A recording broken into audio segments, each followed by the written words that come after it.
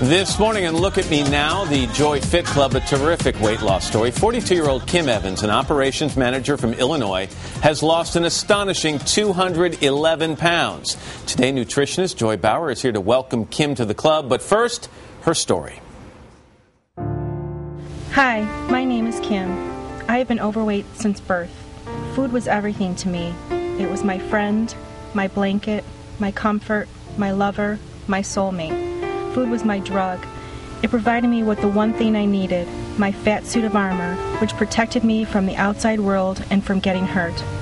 I walked around in a food coma for 39 years. As an overweight child, school was tough. From elementary through high school, the kids were very cruel. As a teenager, there were no boyfriends, no dances, no proms. I lived in my school books. I found refuge in homework.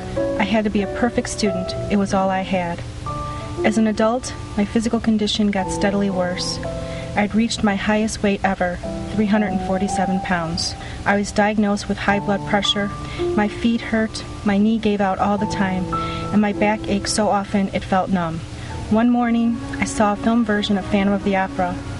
The portrayal of the Phantom by the actor Gerard Butler woke up my soul. Your thoughts of the life you knew before. I had spent so long walking around in my fat suit of armor. The film inspired me to transform my life. I slowly created an eating and exercise plan for myself. I realized that I was alive inside, ready to experience life, love, and happiness. Before we bring Kim out, Joy, what stands out in that story? Oh my gosh, this is such a beautiful story. Kim used to be introverted and shy. After losing a whopping 211 pounds, she is social, she's outgoing, she enjoys comfortably crossing her legs, wiggling into a restaurant booth. But I think what stood out for me is at 40 years old, she just had her very first kiss. And she describes feeling like a teenager in a 40 year old body. Uh, look, now you've built it up so much. Let's bring Kim out. Kim, come on out here. look at you, Kim.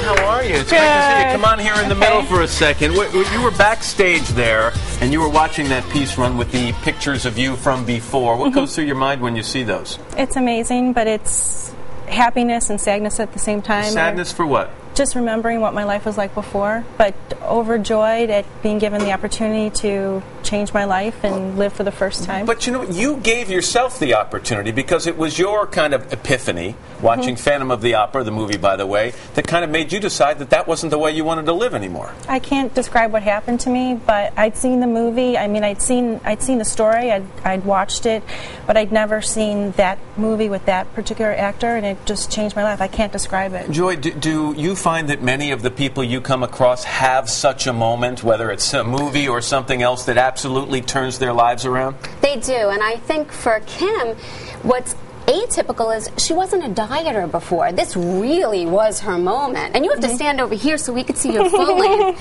This is unbelievable. Well, I want to say something about that because you're right. You had never dieted. Never. And so this was the first time you really stopped to try to change your food consumption. Did you have a lot of setbacks as you began this? No, when I that day I just decided and I was so excited that through the whole process I was excited every moment. I never had any doubts.